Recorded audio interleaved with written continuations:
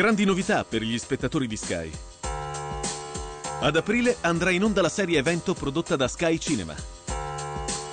Questo primo ed innovativo esperimento vanta la collaborazione di Gabriele Salvatores, che nel 2005 aveva tratto Quo Vadis Baby dall'omonimo romanzo di Grazia Verasani. Per sviluppare le storie della detective Giorgia Cantini in sei film per la TV, Salvatores si è trovato a svolgere un ruolo per lui inedito, affidando la regia al collega Guido Chiesa. Ma cosa fa un direttore artistico in queste situazioni? Oh, buona!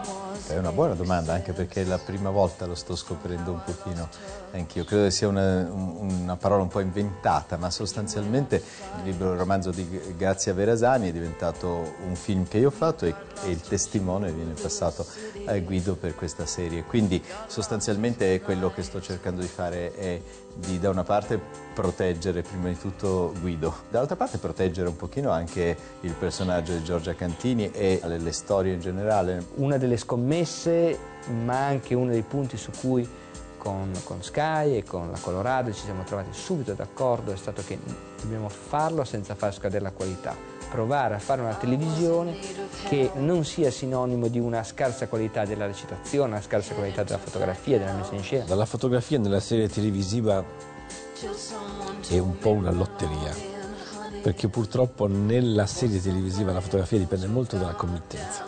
Quando incomincia a salire tu vieni tenendo un po' picchiato e poi alzando, alzando, alzando.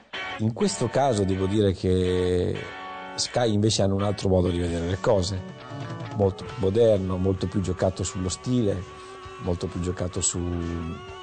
I, anche, anche se sembra una brutta parola, hanno la moda del momento le tendenze attuali. In realtà il cinema ha bisogno di cambiare un pochino il proprio linguaggio. Lo ha già fatto in parte eh, riferendosi alla pubblicità, ai fumetti, lo fa all'arte contemporanea, alla videoarte, cerca dei linguaggi nuovi. Questo è un confronto di due fratelli, cioè di due... Eh, Godard lo diceva già tanto tempo fa. Non c'è nessuna differenza tra cinema e televisione. È, una, è un falso mito. Fate il cinema, questo prima classe, vedi? Dobbiamo raccontare delle storie fatte bene, punto. Indubbiamente il fatto di avere a che fare con uno schermo così piccolo e con eh, dei tempi così ridotti ci obbliga, secondo me, per cercare di fare buone, una buona televisione, ad utilizzare un linguaggio diverso